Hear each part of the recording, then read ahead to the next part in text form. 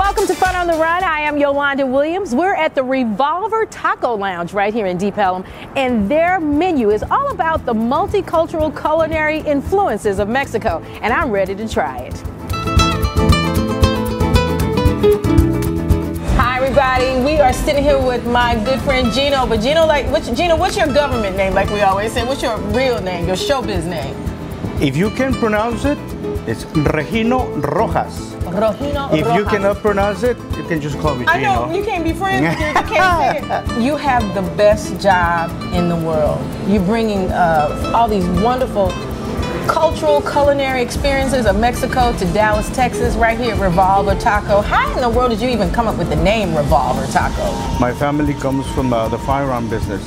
Uh, we're engravers. Uh, we deal co- collectible firearms. Mm-hmm. Uh, you know, the firearms that you normally don't shoot, you have it in a shelf, nice Mm-hmm. looking.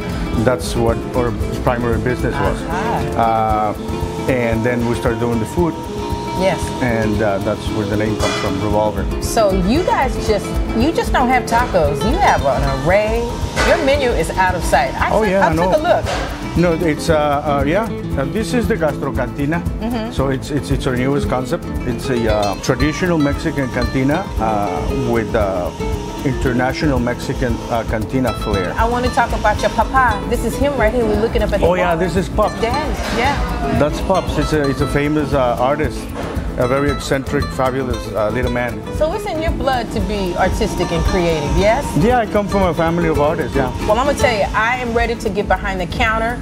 I, I'm excited as to what you're gonna prepare today. Oh, I cannot wait. All right, so Gino's gonna show me what it takes to make the perfect taco. Gina, what are we doing? The perfect taco uh, should only have uh, two to three elements. Okay. That's it. And everything starts uh, with love. The best representation of love in the taco is the tortilla. Tortilla, right? Uh, so Yes. you can check it out. So this is Tia Tere. Hi, Tia Tere. Uh, she's been making tortillas since she's a little girl in Michoacan. oh my goodness. Uh, so it doesn't matter what you really do after this. yeah. Uh, if you put enough love in the beginning, Yes.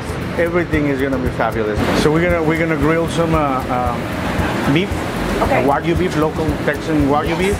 Yes, we know about that type of And, thing. yeah, and this is uh, the most basic taco that there, there always is in taquerias. So this is fabulous Texas wagyu. I know. And you didn't. I mean, that didn't. That didn't take very long to cook that. No? Can y'all smell that? It smells so good. Check it out. Okay, thanks. I think we're good, right? what do you prefer, corn or flour tortilla? Corn. Corn. Yeah. Oh, of course, Corn has a corn. little bit more oomph to it. Nutrients. Yeah. Oh. oh my goodness. Can I fill out an application and just kind of come out? and hang out? Absolutely. Okay, you know I didn't like eat breakfast on purpose, Pat. Nice. Oh my god. I just messed up my lipstick, but I don't care.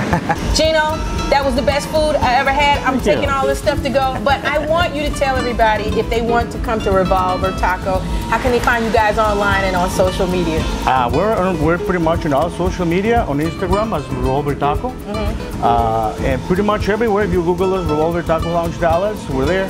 All right. And right here, Deep Ellum, the best neighborhood in Dallas. Yeah, All right, now you heard it. All right, you guys, if you want to see more stories like these and come have a wonderful taco here at Revolver Taco, we'll put it on our website. So head on over to cw33.com and make sure to follow us on social media. I have to go uh, containers in my purse. It's okay. I'm Mexican. I understand those. I know you. do. Yeah.